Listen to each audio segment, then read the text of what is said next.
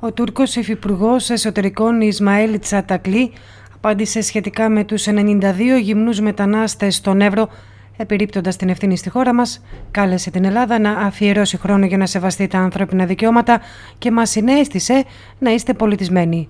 Αναφέρει σε νέα παρέμβασή του ο γνωστός αναλυτής αντιστράτηγος εν αποστρατεία Λάμπρος Τζούμι. Η διαστρέβλωση της πραγματικότητας, οι ψυχολογικές επιχειρήσεις και η λογική της προβοκάτσιας αποτελούσαν ανέκαθεν αναπόσπαστο μέρος της τουρκικής στρατηγικής. Η Τουρκία διεξάγει έναν υβριδικό πόλεμο εναντίον της Ελλάδας και έχει εντάξει σε αυτόν και το μεταναστευτικό, το οποίο αποτελεί απειλή για την ασφάλεια της χώρας. Αναφορικά με την οργάνωση προβοκατόρικων ενεργειών από την πλευρά της Τουρκίας με σκοπό τη δημιουργία μιας κρίσης που μπορεί να οδηγήσουν ακόμη και σε στρατιωτική σύγκρουση, να υπενθυμίσουμε την τοποθέτηση βόμβας τον Σεπτέμβριο του 1955 στο σπίτι όπου γεννήθηκε στη Θεσσαλονίκη ο Μουσταφά Κεμάλ, την ώρα που στο Λονδίνο βρισκόταν σε εξέλιξη τριμερής διάσκεψη Ελλάδα-Τουρκία, Μεγάλη Βρετανία για το Κυπριακό, την οποία είχε συγκαλέσει ο Άγγλος Υπουργός Εξωτερικών Μακ Μίλαν. Τη βόμβα τοποθέτησε, όπως αποκαλύφθηκε, Τούρκο φύλακας του κτηρίου Χασάν Μεχμέτογλου, που την παρέλαβε από τον φοιτητή Οκτά Εγκίν γιο παλιού βουλευτή της Ροδόπης που τον επιβράβευσαν αργότερα διορίζοντας τον αρχηγό της αστυνομίας στην Άγκυρα.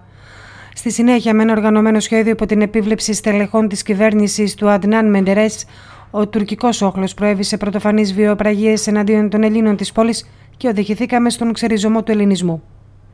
Η προβοκάτσια στα Ήμια ξεκίνησε από την προσάραξη σε ελληνικά χωρικά ύδατα του τουρκικού φορτηγού σκάφους Φιγκέναγκάτ σε μία από τις δύο νησίδες – το σκάφος έπρεπε να ρημουλκηθεί από ελληνικά ναυαγοσωστικά, αλλά ο καπετάνιος αρνήθηκε την ελληνική βοήθεια, ισχυριζόμενος ότι είναι σε τουρκικά χωρικά ύδατα.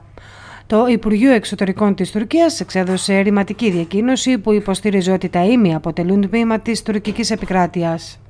Το επόμενο χρονικό διάστημα και μέχρι τις εκλογές θα υπάρξει μια αναβάθμιση της τουρκικής προκλητικότητας με εθνικιστικές κορώνες και πολλαπλές προκλήσεις και μια προβοκάτσια από πλευρά της Τουρκίας είναι ένα πιθανό ενδεχόμενο.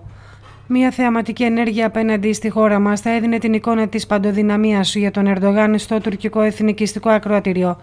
Ένα αποτέλεσμα όμως, μη αναμενόμενο, θα τον έφερνε σε πολύ δύσκολη θέση και ίσως θα δημιουργούσε μια κατάσταση μη διαχειρίσιμη για αυτόν.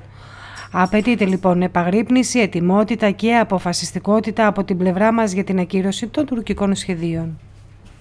Ευχαριστούμε που μας παρακολουθήσατε. Για να λαμβάνετε πρώτοι όλες τις νεότερες εξελίξεις κάνετε like και εγγραφή στο κανάλι μας. Μην ξεχνάτε να μας κάνετε σχόλια με την άποψή σας.